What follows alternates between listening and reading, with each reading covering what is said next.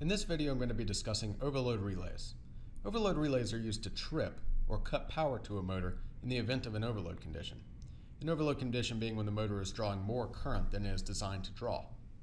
Some ways that this can happen, if a pump gets clogged or if a rock gets jammed in a rock crusher. In all instances, we want to shut off the motor as pulling too much current will cause additional stress on the motor and ultimately reduce its lifespan. Now there's two types of overload relays. The older, traditional, yet still very common, bimetallic overload, and the solid state, or electronic overload relay. Both designed to do the same thing, just in different ways. First I'm going to talk about bimetallic.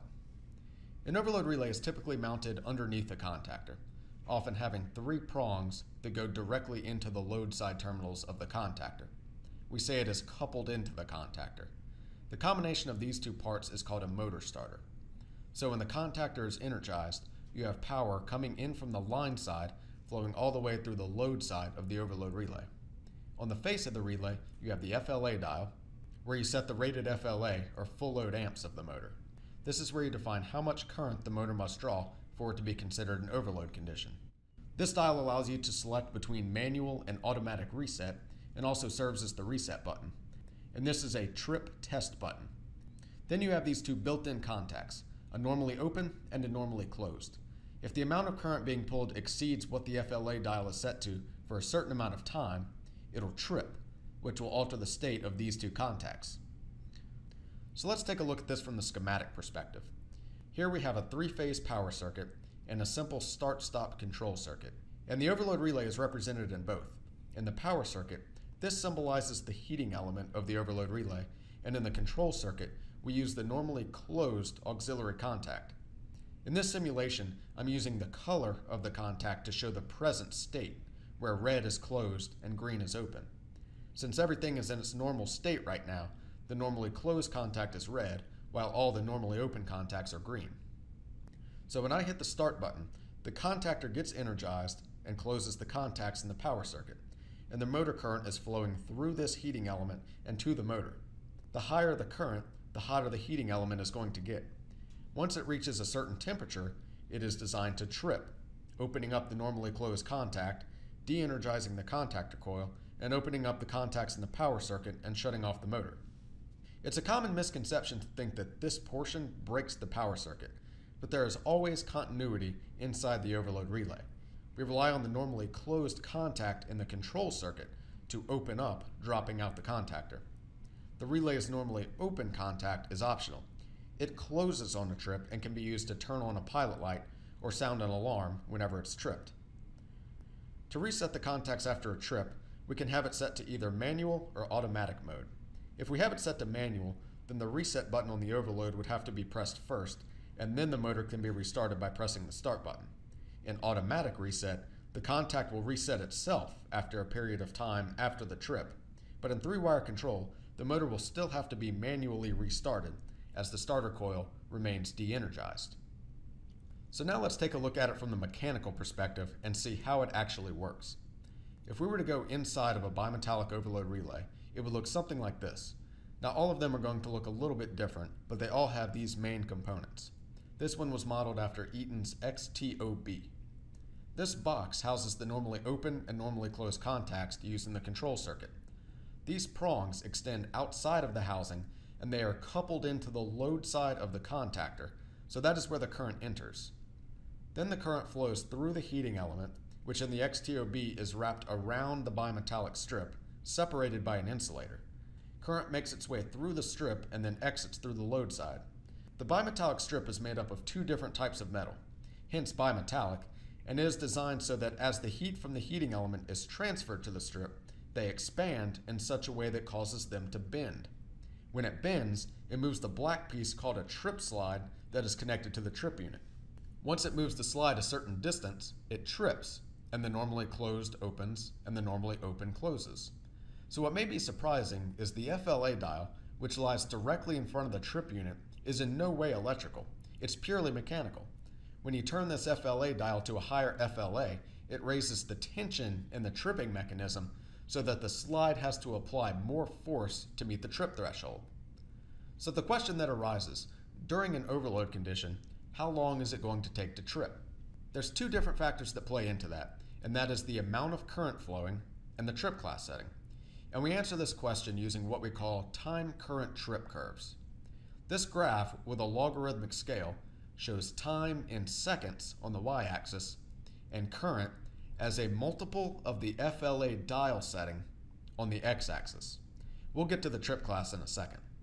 So if we have a motor that has an FLA rating of 100 amps and is constantly pulling 350 amps from a cold start, it's pulling 350% of what it should be, or 3.5 times as much. So we find 3.5, go up to the cold start curve, and it'll trip in about 50 seconds. By the way, a hot start is when the motor was started again after it had been running for a while beforehand. It's going to trip more quickly in an overload condition in this case because there is already some amount of heat in the bimetallic strip. Now in my example, the motor was pulling a continuous 350 amps, but motors don't always behave this way. The current can fluctuate. It may start off pulling 350 amps, then drop to the nominal 100 amps, then something causes it to shoot up to 200. To calculate the exact time that it'll trip in a case like this would be very tedious. The point I'm making is that these are not necessarily made for precision. These curves just give you a rough idea of how long it'll take to trip under a given circumstance. Now I mentioned that trip class plays a factor, yet you don't see it as a variable in this graph. And that's because each curve is defined by a trip class. This one I'm looking at now happens to be a trip class of 20. A trip class of 20 means that at a constant current that is 750% of the FLA current setting on a 1.15 service factor motor, the motor will not take more than 20 seconds to trip. So if we look at 7.5 times the FLA dial, we would expect to see it trip in less than 20 seconds, which it does. A trip class of 10 means that it would take less than 10 seconds to trip under those same conditions. The big takeaway from this is the lower the trip class, the less time it will take to trip. Here's an example where all of the trip class options are put on the same graph for comparison. The top curve, or the one that will take the longest to trip, is a trip class of 30. And this 10A that you will come across sometimes is a European standard and it converts to somewhere around 7 seconds. And that is the reason you find its curve at the bottom. It will cause the motor to trip the most quickly. As for which trip class to choose, it's very application dependent. You want to pick one that's low enough to where it will trip soon enough to protect the motor, but if you have a motor that takes a long time to get up to speed and is going to be in an inrush state for an extended period, picking a trip class that is too low is going to cause it to trip before it reaches its steady state speed. For example, let's take a look at this industrial saw that has an 8 foot diameter, which could take several seconds to get up to speed.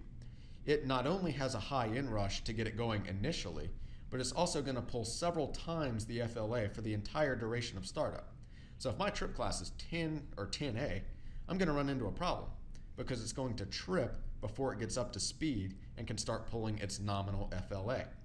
So choosing a trip class is all about finding a balance between these two factors among other variables that may be specific to an application. That's pretty much it for the overload basics. Now we'll talk a little bit about the second type of overload relay, and that is the solid state, or electronic overload. And everything I've talked about is still valid. It's designed to do the exact same thing. It serves the same purpose. It just has a different way of sensing the current.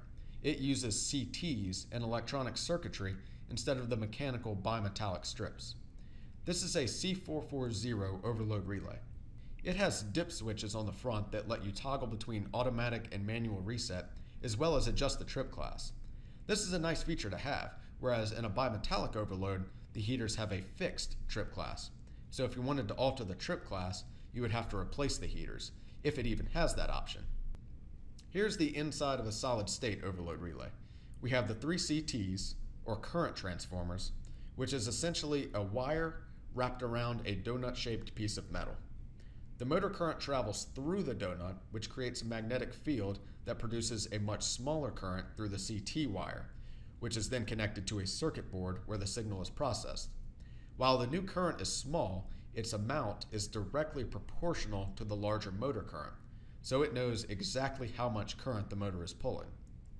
Because we have electronics that can process this information digitally, another big advantage to solid state is you can add communication modules, such as Ethernet or DeviceNet, and monitor different parameters for use in an automation system. So you get a lot more flexibility with the solid state, but of course you will pay a little bit more for it. So if you don't need these extra features and or have a clearly defined application that is never going to change, you may choose to just stick with the bimetallic. My name is Carl Brown, and thanks for watching.